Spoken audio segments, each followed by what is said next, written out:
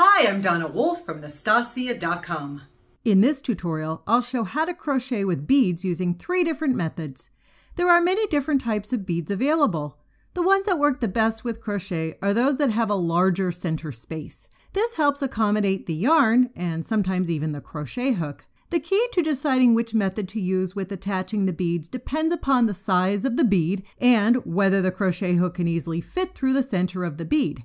At the same time, the crochet hook needs to also be able to work with the yarn without having it fall off the hook. Sometimes accommodations need to be made to work with the bead, including using a smaller crochet hook. I often find that crochet hooks with the flatter top section do better when working with beads. The first method I'll show consists of using a crochet hook and yarn that can accommodate the bead, and the bead can easily be placed on the crochet hook one at a time as one crochets. This method is probably the easiest as beads can be placed without having to figure out how many beads need to be placed on the yarn first, which I show in method 3. Any type of stitch can be made with the bead. I'm doing a slip stitch followed by a single crochet in the next stitch, mostly because it's one of the easiest to do. However, single crochet, double crochet, or any other common stitch can also be used.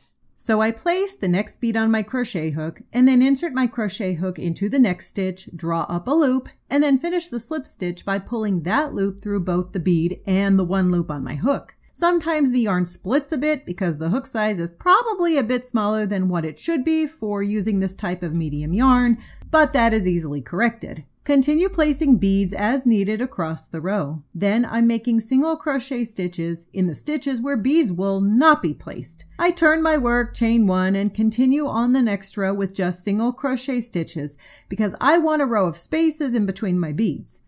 Continue with this method for as many rows and stitches as needed.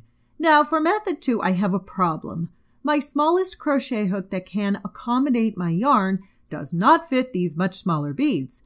Since I won't be able to use method one, I'll have to switch over to method two. Method 2 relies on a much smaller crochet hook. This will be able to fit the bead, however, I won't be able to crochet with it. But that's okay because all I need it for is to go into the center of the bead and place the bead on the loop of my crochet hook so that I can continue crocheting.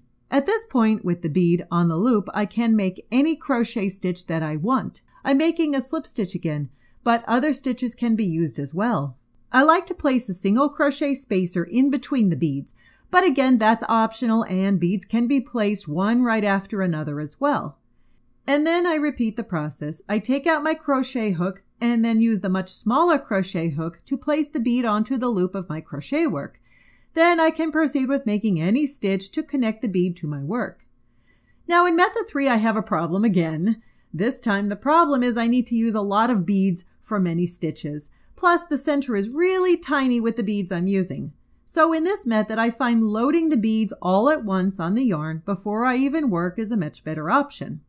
To determine how many beads need to be loaded onto the yarn first, I usually do a sample of 4 inches by 4 inches. If I end up using 16 beads in that 4 inch by 4 inch sample, then I know I can use multiplication to determine how many beads I need in a 20 inch by 20 inch sample. When crocheting using this method, the bead oftentimes ends up in the back of the work, and many times that's okay as long as there is consistency and the final project will have the beads facing forward. However, there is a way to make the bead go in the front of the work. The key is placing the crochet hook behind the yarn first and then finishing the single crochet or whatever other stitch is used. Once that stitch is placed, the next bead is moved along the yarn and placed right next to the last stitch. In this case, I'm making a single crochet. As mentioned, any stitch pattern can be used to create different looks in the work. Continue moving beads along the yarn and placing them next to the last stitch to incorporate the bead in the work. I like to place a plain row in between the beads, but as always, that's an optional step. Continue with this method for as many rows as needed. And that's it. That's how I crochet with beads.